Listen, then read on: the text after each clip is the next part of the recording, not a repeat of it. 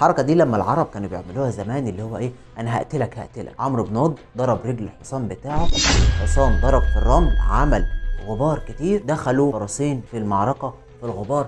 محدش شاف حاجة. الناس كلها اللي واقفة عندها يقين كبير جدا إن علي بن أبي طالب هيتقتل وإن عمرو بن هود هيطلع عايش. سيدنا علي مسك الرمح وراح خبطه في الباب. فحديد مع حديد عمل ارتطام. صوت عالي. طلع شرارة. المنظر ده ارعب اليهود اللي جوه الحصن. ففي واحد من اليهود فتح عين كده بباب الحصن وقال من الرجل؟ قال أنا علي بن أبي طالب. قال هزمنا ورب موسى. السلام عليكم. أهلا بيكم في سلسلة رجال من ذهب النهارده هنتكلم عن رابع الخلفاء الراشدين واللي قال على نفسه أنا الذي سمتني أمي حيدره درغام أجام وليث كسوره عبيل الذراعين شديد الكسره كليث غاب كريه المنظره سيدنا علي بن أبي طالب. أبو الحسن أو زي ما سماه سيدنا محمد صلى الله عليه وسلم أبا تراب. النهارده هنشوف مواقف في حياة سيدنا علي هنفهم منها إزاي الرسول قدر يربي سيدنا علي ويأثر في شخصيته. من وهو صغير حتى يوم أن قتل رضي الله عنه. وهنشوف إزاي مات سيدنا علي.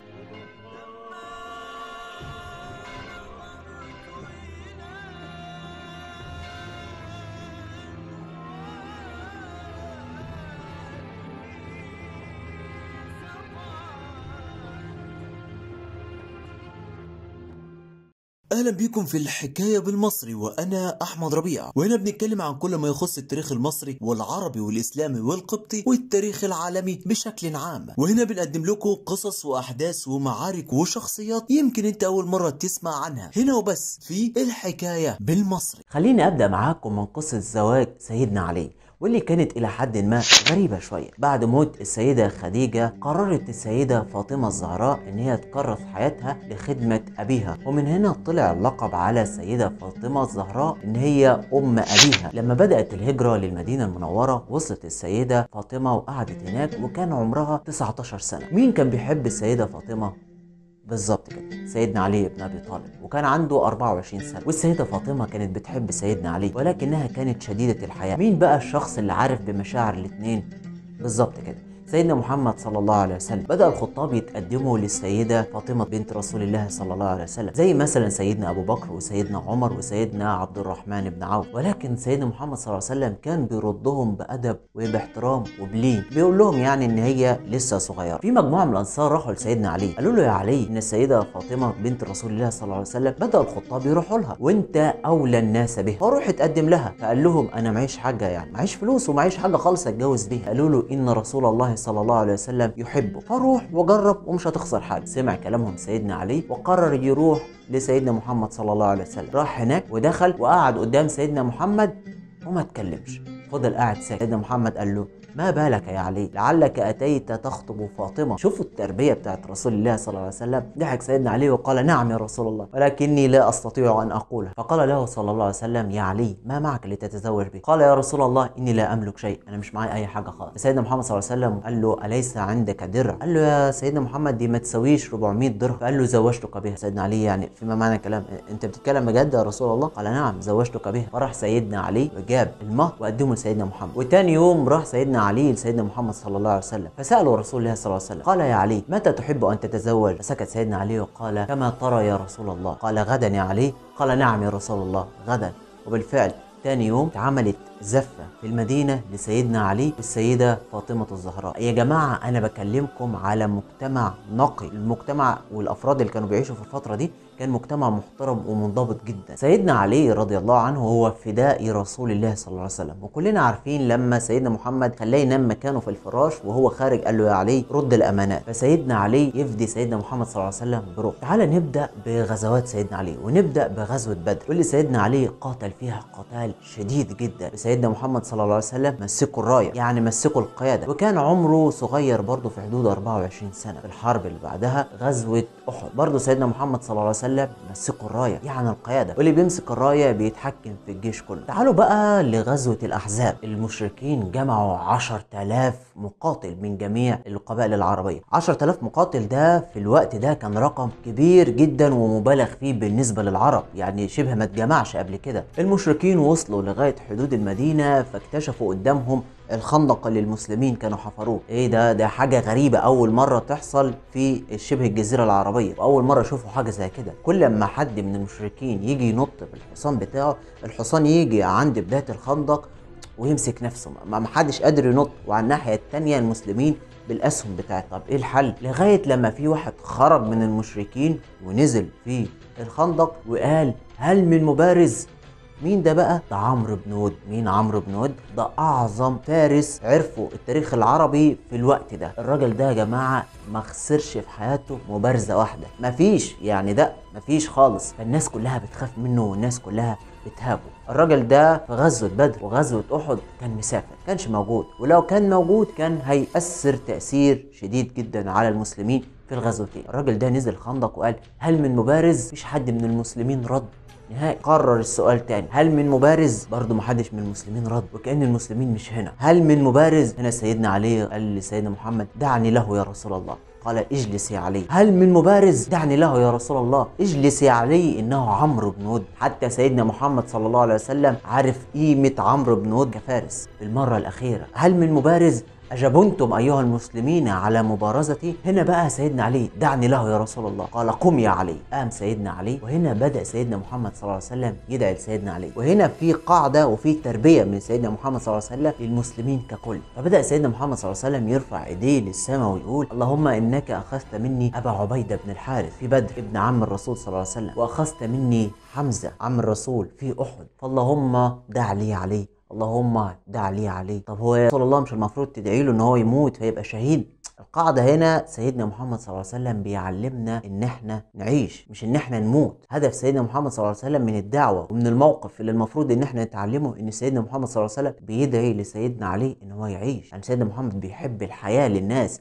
مش بيحب الموت ومش زي ما التكفيريين بيعملوا. نزل سيدنا علي في الخندق فسأله عمرو بن ود من أنت يا فتى؟ قال أنا علي بن أبي طالب. قال أنت ابن أبي طالب؟ فارجع فإن أبوك كان صاحبي وإني لا أريد أن أقتلك. فبص له سيدنا علي وقال له لكني أريد أن أقتلك. نرفز بقى عمرو بن ود كده وراح طلع السيف بتاعه وراح ضرب بسن السيف بتاعه ضرب رجل الحصان بتاعه. فالحركة دي لما العرب كانوا بيعملوها زمان اللي هو إيه؟ أنا هقتلك هقتلك. عمرو بن ود ضرب رجل الحصان بتاعه الحصان ضرب في الرمل عمل غبار كتير.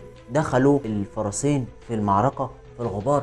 محدش شاف حاجة. الناس كلها اللي واقفة عندها يقين كبير جدا إن علي بن أبي طالب هيتقتل وإن عمرو بن ود هيطلع عايش. ولكن خرج سيدنا علي بن أبي طالب المسلمين فضلوا يكبروا. سيدنا علي بن أبي طالب قتل عمرو بن ود ودي كانت كسرة للمشركين في وقتها. شوف الخطوات اللي كان بيعملها سيدنا محمد في المواقف عشان يربينا ويربي الصحابة. شوف كانت ماشية إزاي بالترتيب. خلينا نجري بالأحداث شوية ونوصل لغاية غزوة خيبر. هنا سيدنا محمد صلى الله عليه وسلم قرر إن هو يطلع يغزو حصون اليهود عشان هم انكروا ونقضوا المعاهدة اللي كانت بين الرسول وبين اليهود. خرج سيدنا محمد صلى الله عليه وسلم بالجيش الإسلامي وأول حصن من حصون اليهود كان اسمه حصن الناعم. فضل الرسول صلى الله عليه وسلم محاصر الحصن 15 يوم ومش قادرين يفتحوه لدرجة إن المسلمين بدأ يصيبهم الإحباط. إحنا 15 يوم في حصن ولسه في سبعة تانيين. يعني أنت لو ضربت كل حصن في متوسط من 15 ل 20 يوم في باقي الحصون مش هنخلص بقى. في اليوم ال 13 سيدنا محمد صلى الله عليه وسلم أصابته الشقيقة. يعني أصابه صداع نصفي شديد جدا. لدرجة إن سيدنا محمد صلى الله عليه وسلم ما قدرش يخرج في الحرب. فإدى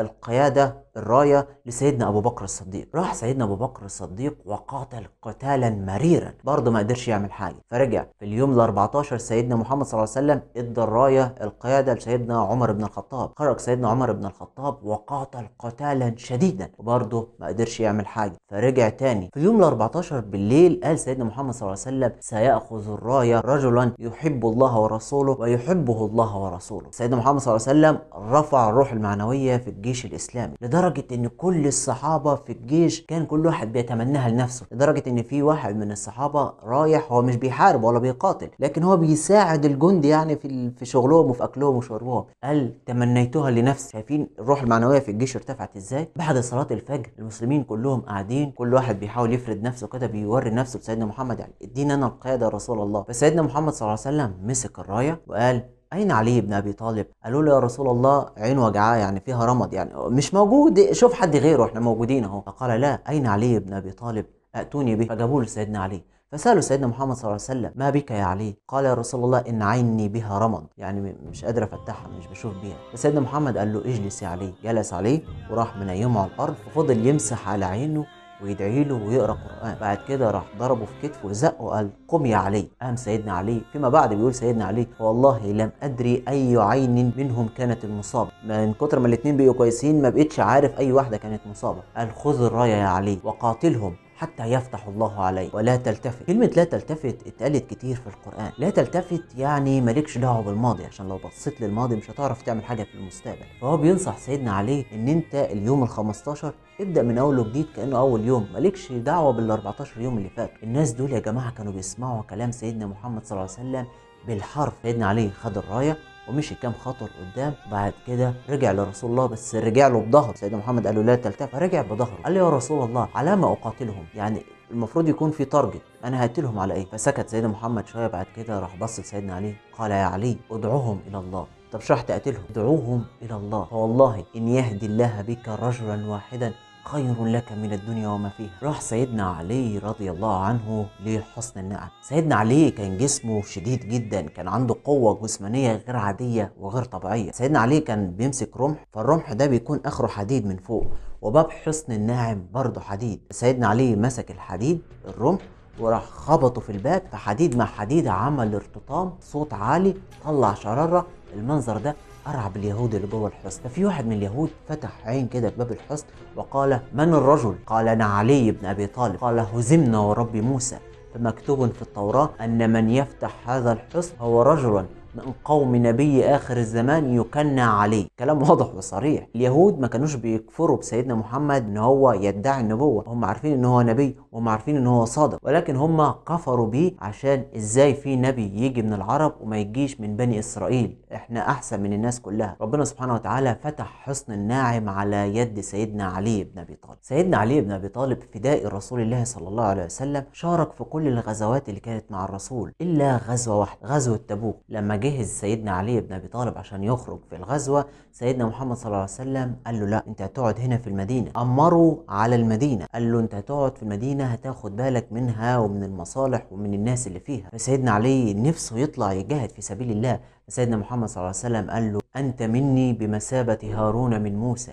ولكنه لا نبي بعد. سيدنا علي بن أبي طالب كان من أوائل الصحابة اللي بايعوا سيدنا أبو بكر الصديق وكان وزير شخصي لسيدنا أبو بكر برضه كان وزير شخصي لسيدنا عمر بن الخطاب. وليه موقف مع سيدنا عمر بن الخطاب جميل جدا. سيدنا سعد بن أبي وقاص ربنا فتح على ايديه إيران بلاد الفرس فمسك سواري كسرى وقال من يذهب بهم إلى عمر بن الخطاب. سواري كسرى دول عاملين اللي هو إيه؟ زي الاحتياطي النقدي للبنك المركزي في مصر. أو في أمريكا. ثروة ثروة مهولة. ففي واحد من الجيش أعرابي وقف قال أنا. ومحدش يعرفه. فسيدنا سعد بن أبي وقاص اداله سواري كسرى وقال اذهب بهم إلى أمير المؤمنين. فالراجل مسك سواري قسرى وراح بيهم لأمير المؤمنين. ما هربش الراجل بيه. دخل على المدينة سأل على سيدنا عمر بن الخطاب. كان سيدنا عمر قاعد مع سيدنا علي. فقال ما بك يا رجل؟ قال إن سعد بن أبي وقاص أمير الجيش يرسل إليك معي هذا. فبص سيدنا عمر بن الخطاب كده لسواري كسرى فاللي هو إيه؟ قال له هو سعد بن ابي وقاص أرسل معاك حاجة تاني بعت معاك حاجة تاني. فالراجل بدأ اللي هو إيه يقول لك ده أمير المؤمنين بيشك فيا. فقال له يا أمير المؤمنين فيما معنى الكلام إن أنا لو راجل مش مخلص والله سواري الكسرى لكنت هتشوفهم انت ولا سعد بن أبي وقاص ولا حد كان هيشوفهم خالص. كان قادر الراجل ياخدهم ويهرب بيهم. سيدنا عمر بن الخطاب بص لسيدنا علي وقال يا علي ما بالك بقوم يردوا الأمانات إلى أميرهم؟ قال يا أمير المؤمنين عففت فعفوا ولو رتعت لرتع يعني أمير المؤمنين هم بيعاملوك زي ما انت بتعاملهم بالظبط. سيدنا عمر بن الخطاب كان على طول واخد سيدنا علي وزير شخص ليه لدرجة إن هو كان على طول بيقول إيه؟ والله لولا أبا الحسن لهلك عمر بن الخطاب. وكان بيقول ليس لي عيش في قوم ليس فيهم أبا الحسن. وسيدنا علي كان وزير شخص برضه لسيدنا عثمان بن عفان. الإمام علي بن أبي طالب كان متفقه في الدين الإسلامي ومتبحر فيه جدا. في ثلاث مواقف لازم نقف فيهم في حياة سيدنا علي بن أبي طالب عشان نشوف تربية الرسول صلى الله عليه وسلم لسيدنا علي. رقم واحد سيدنا علي اتخانق مع السيدة فاطمة أي رجل ومراته بيتخانقوا مع بعض فراح غضب ساب البيت وراح نام في الجامع سيدنا محمد كان بيزور السيدة فاطمة فبيقول لها هو جوزك فين؟ قالت له غضبان ونايم في المسجد. هنا أول درس بيعلمه لنا رسول الله صلى الله عليه وسلم. سيدنا محمد ما سألش السيدة فاطمة هو زعلان ليه؟ وما سألهاش أنتوا اتخانقتوا ليه؟ وما حبش يتدخل في الموضوع. والسيدة فاطمة ما حكتش لسيدنا محمد صلى الله عليه وسلم. ليه؟ عشان ما تخرجش أسرار بيتها لبره حتى لو كان أبوها. سيدنا محمد صلى الله عليه وسلم عرف إن سيدنا علي في المسجد. فراح ليه سيدنا علي نايم والعبايه بتاعته تراب. المسجد زمان كان حصى موجود عليه تراب. فقام سيدنا محمد صلى الله عليه وسلم فضل ينفض جسم سيدنا علي ويقول له قم أبا تراب. قم أبا تراب فسيدنا علي حب الاسم ده جدا وكان بيعتز بيه عشان سيدنا محمد صلى الله عليه وسلم هو اللي قاله له. تاني موقف لما سيدنا محمد صلى الله عليه وسلم أرسل سيدنا خالد بن الوليد لأهل اليمن عشان يدعوهم للدخول في الإسلام ولكن سيدنا خالد قعد هناك سنة كاملة مفيش حد خالص دخل في الإسلام. فرجع سيدنا خالد بن الوليد بعدها أرسل سيدنا محمد صلى الله عليه وسلم سيدنا علي قعد هناك ست شهور دخل في الإسلام قبيلة همزان ودي كانت أكبر قبيلة في اليمن وبعد كده رجع. بعديها بشوية سيدنا محمد بعت سيدنا علي لليمن عشان يتولى القضاء هناك. ثالث موقف وهو لما سيدنا علي أصبح الخليفة حصل خلاف بينه وما بين واحد يهودي على الدرع بتاع سيدنا علي. فراح اليهودي اشتكى أمير المؤمنين سيدنا علي للقاضي القاضي جاب أمير المؤمنين. أمير المؤمنين سيدنا علي بن أبي طالب جاي ماشي على رجليه اللي هو لا راكب حصان ولا الموكب ولا جاي ماشي على رجليه. فوقف قدام القاضي. فالقاضي بيقول له يا أمير المؤمنين إن الراجل ده بيقول إن الدرع بتاعه معاك. فقال له لكن ده الدرع بتاعنا فالقاضي سأل سيدنا علي بن أبي طالب عندك شهود بكده؟ قال نعم الحسن والحسين. فالقاضي قال لسيدنا علي فيما معنى الكلام يا أمير المؤمنين أنت أدرى واحد بالقضاء. وما ينفعش حد من عيلتك يشهد. فسيدنا علي قال له أنا ما عنديش شهود. الا الحسن والحسين. فراح حكم القاضي إن الدرع اللي عند سيدنا علي دي بتاعه اليهودي عشان اليهودي جاب شهود. اليهودي استغرب من اللي حصل. القاضي بيحكم على أمير المؤمنين خليفة المسلمين إن هو يسلم الدرع بتاعه ليهودي. وقف اليهودي كده مصدوم وقال للقاضي لا الدرع ده بتاع سيدنا علي بن أبي طالب وأنا كذبت على سيدنا علي وأشهد أن لا إله إلا الله وأن محمدا رسول الله. اليهودي نطق الشهادة ودخل في الدين الإسلامي لما شاف تصرف سيدنا علي اللي هو رباه عليه سيدنا محمد صلى الله عليه وسلم. دي الأخلاق اللي الرسول صلى الله عليه وسلم ربى عليها المسلمين اللي فيما بعد هيخرج ناس من المدينة هيقودوا العالم كله. أما بقى الفتنة الكبرى اللي حصلت بعد مقتل سيدنا عثمان فانقسم المسلمين فيها لقسمين. القسم الأولاني كان سيدنا علي اللي شايف إن هو لازم يوقف أركان الدولة ويثبتها بعد كده يقتص من قتلة عثمان. والقسم الثاني بقيادة سيدنا معاوية بن أبي سفيان هو شايف لازم نقتص من قتلة عثمان بعد كده نثبت أركان الدولة الإسلامية. وهنا انقسموا المسلمين لقسمين. قسم بيقوده سيدنا علي بن أبي طالب ومعاه سيدنا الحسن وسيدنا الحسين وناس من كبار الصحابة. والقسم الثاني موجود فيه سيدنا معاوية بن أبي سفيان والسيدة عائشة بنت أبي بكر ومجموعة من كبار الصحابة. وهنا كان لا بديل عن الحرب. التقى جيش سيدنا علي بجيش سيدنا معاوية ولكن الجيشين رفعوا المصحف. إن إحنا هنحتكم بكلام الله عز وجل. وأول لما الخوارج اللي هم كانوا في جيش سيدنا علي قتلت عثمان حسوا إن ممكن يحصل اتفاق بين سيدنا علي بن أبي طالب سيدنا معاوية بن أبي سفيان فقرروا إن هم يقتلوا الثلاث أشخاص صحابة رسول الله صلى الله عليه وسلم اللي مسؤولين عن الصلح. وكانوا هم سيدنا علي بن أبي طالب سيدنا معاوية بن أبي سفيان سيدنا عمرو بن العاص. الخوارج قرروا إن هم يقتلوه ويخلصوا الدولة الإسلامية منهم وبالفعل تم اختيار ثلاث أشخاص من الخوارج هيقوموا بالمهمة دي. أول واحد جه يقتل سيدنا عمرو بن العاص في مصر ولكن في الوقت ده سيدنا عمرو بن العاص ما طلعش يصلي بالناس الفجر طلع يصلي بالناس كان أمير الشرطة. فالشخص اللي من الخوارج بدل ما يقتل سيدنا عمرو بن العاص فقتل كبير الشرطة. تاني واحد راح يقتل سيدنا معاوية بن أبي سفيان وهو بيصلي بالناس الفجر. ولكن سيدنا معاوية ما ماتش ولكن اتصاب. تالت واحد راح قتل سيدنا علي بن أبي طالب في مسجد في الكوفة وهو بيصلي بالناس. أول لما طعن سيدنا علي بن أبي طالب كان السيف بتاعه فيه سم وقع سيدنا علي بن أبي طالب على الأرض وهو بيقع قال لقد فزت ورب الكعبة. يعني سيدنا علي يقول لقد فزت ورب الكعبة. وسيدنا عثمان يفضل يحمد ربنا وهو بيموت. وسيدنا عمر بن الخطاب يفضل يحط دماغه على الأرض. يا جماعة صعب صعب إن إحنا نفهم الكيمياء اللي سيدنا محمد صلى الله عليه وسلم ربى بيها الصحابة بتاع كيمياء. يعني كيمياء وأخلاق عالية جدا عالية جدا إن البشر حاليا يست يستوعبوا الأساسيات اللي سيدنا محمد صلى الله عليه وسلم رب عليها الصحابة. أما بقى بخصوص الفتنة الكبرى فدي إن شاء الله ليها حلقتين مخصصين ليهم جامعين ليكم أهم المعلومات اللي بخصوص الفتنة الكبرى. إن شاء الله هتكون في آخر سلسلة فيديوهات رجال من دهب. كان معكم أحمد ربيع. السلام عليكم.